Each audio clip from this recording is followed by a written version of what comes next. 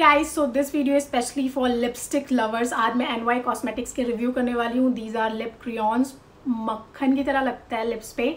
और ये आप परचेज कर सकते हैं पर्पल डॉट कॉम से। और अगर आप मेरा कोड यूज़ करते हैं पी आर आई टू तो आपको मिलेगा so, ये शेड है बेस लोडेड बहुत ही अफोर्डेबल रेंज है। बहुत ही सस्ते हैं।